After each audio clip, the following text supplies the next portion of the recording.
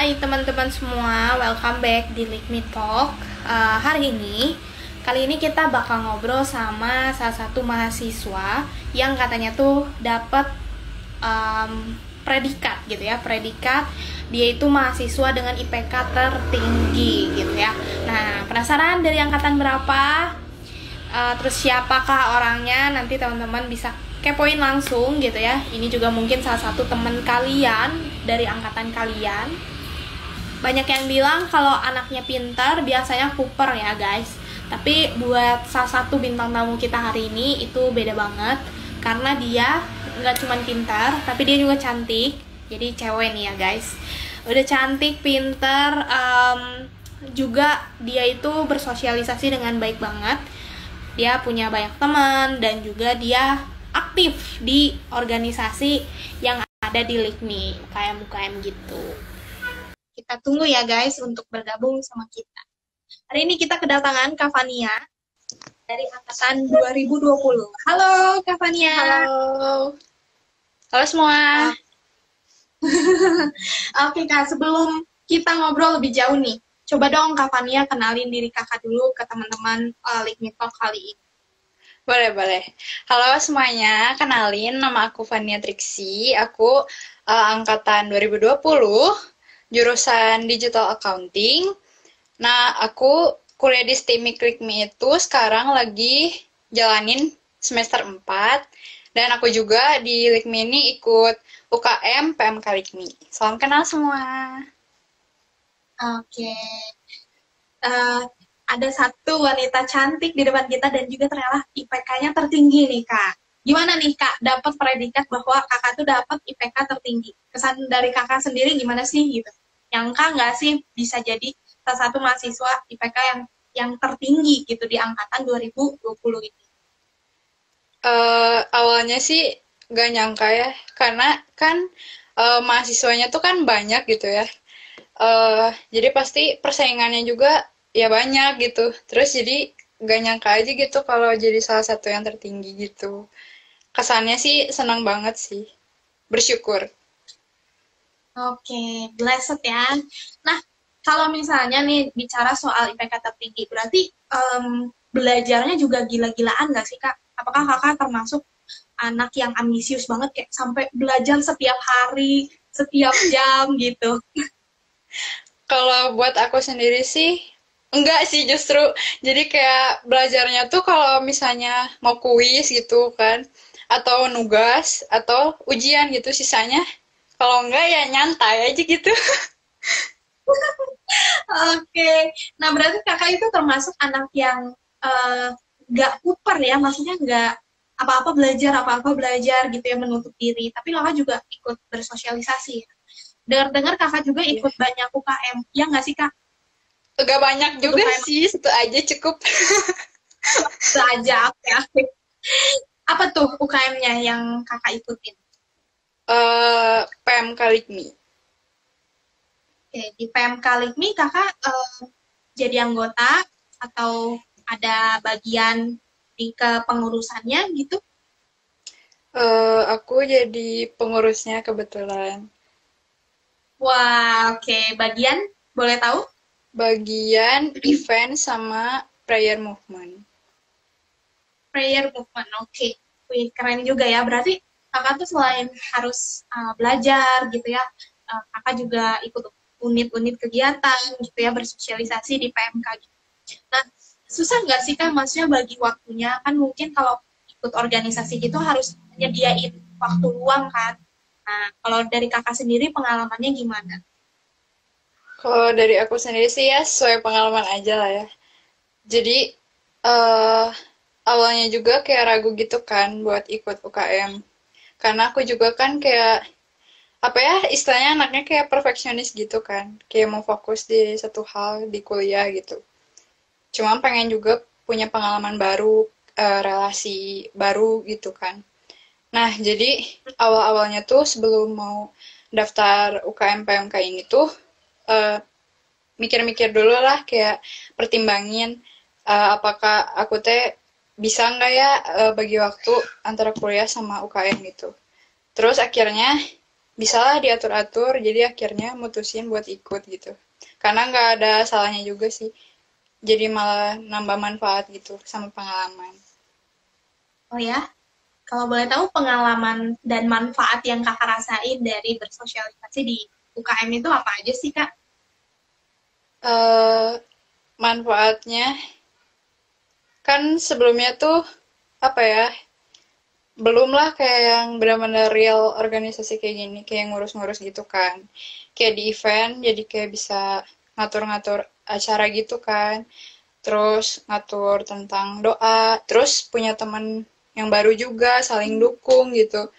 Uh, kayak kebersamaannya tuh kayak mm, kayak love banget lah pokoknya mah love banget ya berarti uh, untuk berarti kakak setuju juga ya bahwa kita tuh nggak selalu harus belajar ya, tapi kita juga harus maksudnya nambah-nambah pengalaman di luar kayak sosialisasi, berorganisasi, benar ya kan? Iya. Yeah. Oke, okay. nah ini ada beberapa pertanyaan yang udah masuk juga. Um, ada satu pertanyaan menarik juga nih. Kan kita lagi pandemi nih kayak lagi kuliahnya online. Banyak juga yang bilang katanya kuliah online lebih susah gitu ya dimengerti dibanding kuliah offline katanya gitu ya. Nah, gimana caranya supaya Kavania itu bisa fokus belajar untuk kuliah uh, di tengah-tengah pandemi ini gitu ya, termasuk juga ikut kegiatan-kegiatan di UKM. Oke. Mungkin jawabannya kayak lebih ke tips kuliah juga secara online lah ya ini termasuknya. Sesuai pengalaman lagi aja lah ya, sesuai sehari-hari yang aku lakuin gitu. Uh, mungkin kayak misalnya kan ada jadwal kuliah online-nya nih. Nah, aku tuh biasanya uh, set alarm gitu sesuai sama jadwal kuliahnya. Jadi kayak antisipasi buat telat uh, kelas gitu.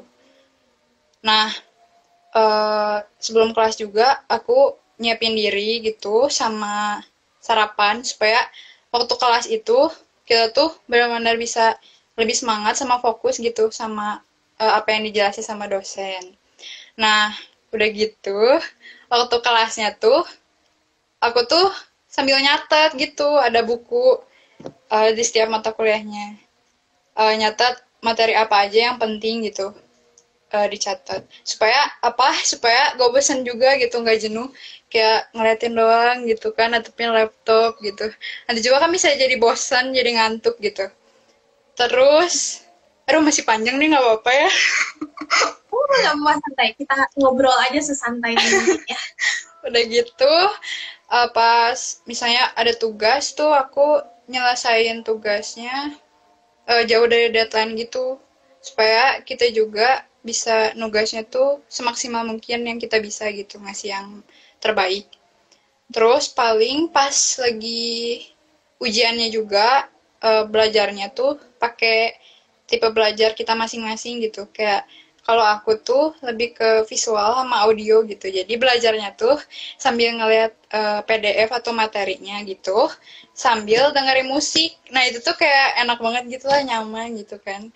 Jadi uh, semangat gitu belajarnya sama masuk juga kotaknya cepet.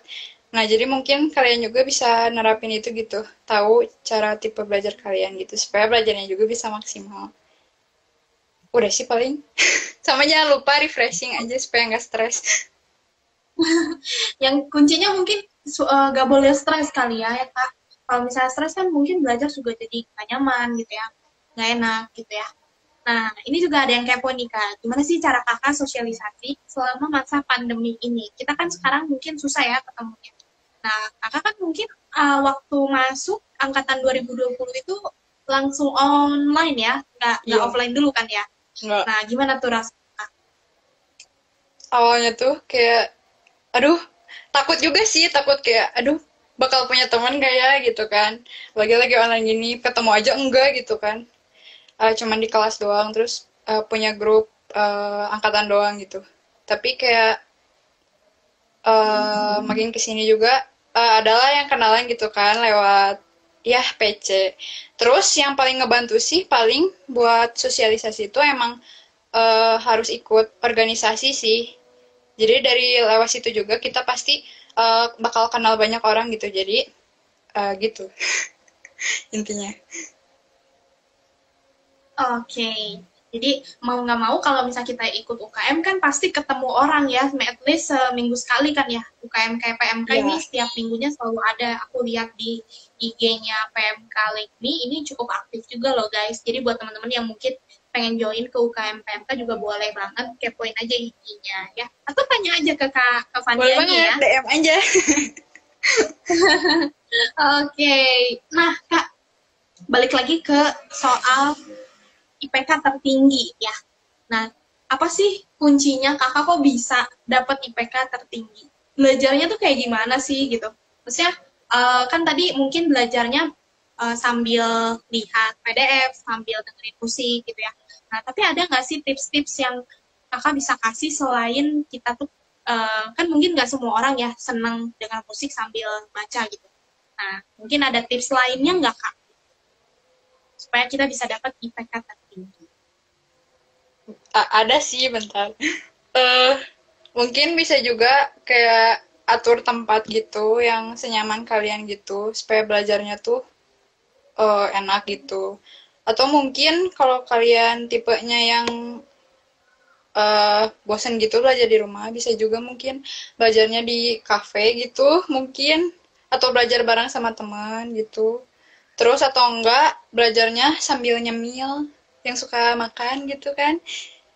Uh, jadi lebih semangat juga. Hmm, sama yang terutama sih nggak boleh dipaksain gitu. Kalau misalnya capek jangan kayak terus diforsir harus harus belajar harus jam segini harus beres gitu. Tapi kayak rehat dulu gitu refreshing dulu. Nanti kalau udah uh, nggak capek lan baru lanjut lagi gitu sih oke. Nah tadi soal eh, nggak uh, boleh ngeforsir ya kak. Kadang kita suka denger nih kata reward untuk diri. Habis capek belajar kita nge-reward diri. Ada nggak sih kakak uh, juga ngelakuin itu gitu? Nah kalau misalnya kakak sendiri reward setelah kakak capek belajar tuh apa sih gitu? Oh itu mah emang kayaknya setiap capek selalu self reward sih. Kayak sebenarnya simple aja sih nggak nggak macam-macam. Kayak cuman nonton gitu nonton Disney lah atau drakor gitu kan buat yang cewek-cewek. Terus atau enggak uh, makan tuh tiduran rebahan chatan. Ya gitu gitulah sebenarnya yang sederhana aja. Oke. Okay. pernah nggak uh, reward diri yang kayak kayaknya kakak tuh pengen banget dapetin itu terus kayak uh, pasang target IPK tertinggi. Kalau dapet IPK tertinggi terus bisa beli itu misalnya atau dibeliin orang tua gitu kalau itu sih enggak sih enggak ada gitu. Kayak mungkin adanya tuh kayak misalnya abis semester abis uh, semester ini udah beres gitu kan libur gitu. Nah aku tuh punya hobi ngegambar gitu terus waktu itu uh, pengen beli gitu sketchbook sama pensil warna yang watercolor jadi setelah semester itu beres dengan IPK juga ternyata bagus gitu self rewardnya adalah membeli sesuatu yang aku mau buat ngejalanin hobi gitu. Oke untuk menjalani hobi ya. Penting juga ya untuk kita punya hobi ya supaya hidup tuh nggak jenuh ya kayak bener ya? Iya. yeah. Oke, pernah nggak sih kak ngerasa burn out nih? Ini menarik juga. Biasanya kan kalau orang-orang yang IPK-nya tinggi, relatif kayak dia punya rasa kayak perfeksionis gitu ya. Kalau misalnya nilainya nggak bagus mungkin stres gitu. Nah kakak gitu juga nggak sih gitu? Iya banget sih.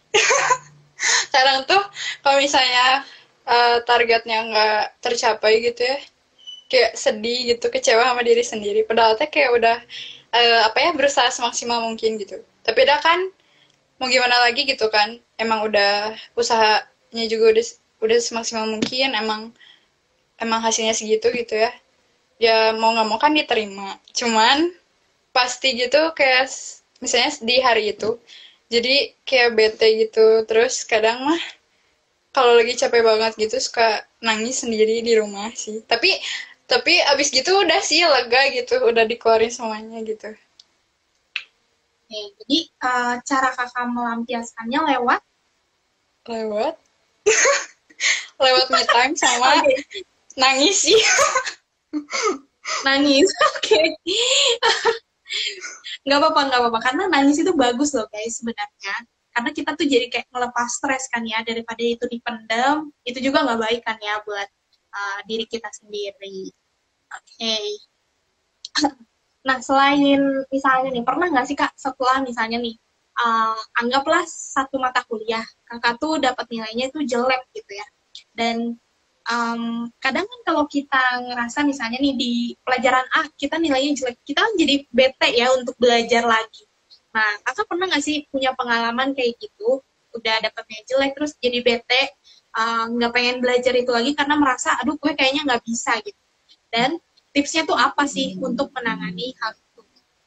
Hmm. Pernah banget sih. Jadi pernah ada satu matkul gitu, kayak hitung-hitungan lah ya.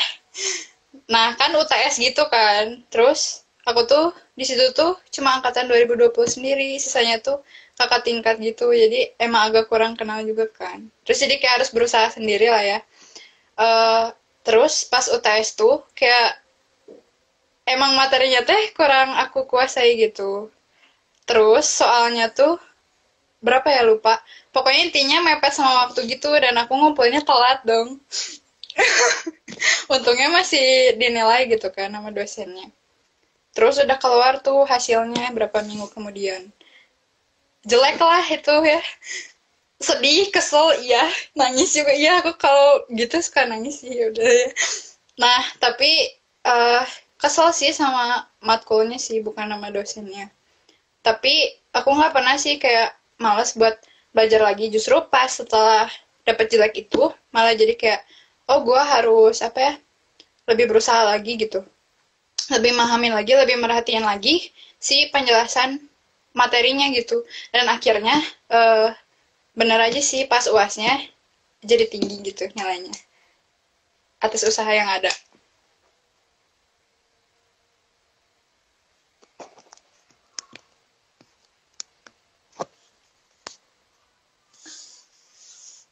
Kok ini emang nggak ada suaranya ya? Sorry, sorry, sorry. Kemute ya. Iya, iya. Benar, benar, benar banget. Tadi tentang um, apa? Tadi tuh tentang gimana kita tuh memotivasi diri. Ya ampun, aku iya. jadi ini ya gimana kita memotivasi diri karena penting banget guys kalau misalnya kita lagi ngerasa down gitu kadang kan kita nggak mood ya dan itu malah jadi bumerang buat kita makanya penting banget kita punya uh, motivasi ya kayak oke okay. nah ini juga mungkin uh, jadi salah satu pertanyaan um, yang banyak pengen orang tahu juga dan mungkin akan mengakhiri Liquid Talk kita kali ini juga. Nah, tips dari Kavania buat teman-teman semua nih, mungkin teman-teman seangkatan, teman-teman uh, adik-adik tingkat, atau yang mungkin baru mau masuk LIKMIT. Gimana sih cara kakak um, memanage waktu kakak uh, sebaik mungkin buat mereka nih, yang mungkin uh, buat mereka tuh susah banget manage waktu gitu. Mereka tuh harus mulai dari mana sih? Step by stepnya tuh apa aja sih kak? Gitu. Mungkin kalau tips dari aku kayak harus harus atur skala prioritas gitu. Kayak prioritas utamanya tuh apa gitu. Yang pertama, kedua, ya sampai ke berapa gitu. Terus yang kedua, kayak bikin daftar list mungkin ya. Kayak planning gitu buat seminggu kah atau satu hari satu hari gitu kayak uh, jam segini kuliah habis kuliah mau ngapain mau ngapain. Jadi kan uh, waktunya juga termanage dengan baik gitu. Uh, terus apa lagi ya? Terus uh, uh, luangin waktu juga gitu. Bukan tentang melulu tentang belajar juga. Tapi buat sosialisasi juga uh, sama keluarga sama teman sama siapa pun itulah terus jangan lupa juga masukin ke jadwalnya tuh jadwal istirahat juga sama refreshing gitu jadi supaya nggak mumet juga sih paling itu Oke, okay. jadi uh, belajar itu bagus, tapi refreshing juga bagus ya guys. Jadi jangan forsir tubuh kita cuman karena kita pengen jadi IPK tertinggi. Kalau kita uh, konsisten pasti kita bisa dapat IPK tertinggi kayak kapan ya ya. Oke deh Kak, terima kasih ya Kak udah mau sharing sama kita semua, sama teman-teman di Live. Banyak yang antusias juga pengen tahu nih gimana caranya jadi mahasiswa IPK tertinggi gitu ya di angkatan 2020 kayak Kak Fani ya. Oke deh, nah buat teman-teman semua yang uh, stay tune di uh, Talk hari ini. Thank you banget buat teman-teman yang udah bertanya juga nanti akan ada panitia yang bakal pilih dari antara kalian untuk dapetin giveaway. Terima kasih teman-teman semua. Kita akan ketemu di Me Talk selanjutnya. Thank you Kak Fania. Stay connect ya. Bye-bye.